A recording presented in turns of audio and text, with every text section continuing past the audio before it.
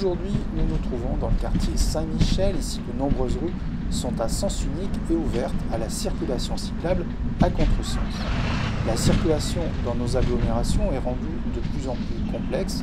L'usage des applications de guidage, hein, comme Waze ou des GPS classiques, s'est développé jusqu'à un point où on en oublie totalement la signalisation qui est en place laissant à l'application la décision finale de l'orientation à donner à notre trajet.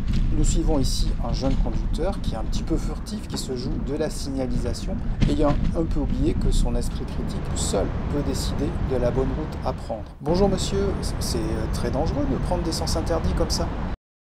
Vous avez pas vu que vous êtes passé à sens interdit? La petite rue là, elle est en sens interdit. Faites gaffe hein, parce que il y en sont déjà fait prendre euh, il n'y a pas très longtemps. Hein? J'ai suivi le GPS ou pas Hein? J'ai suivi le GPS.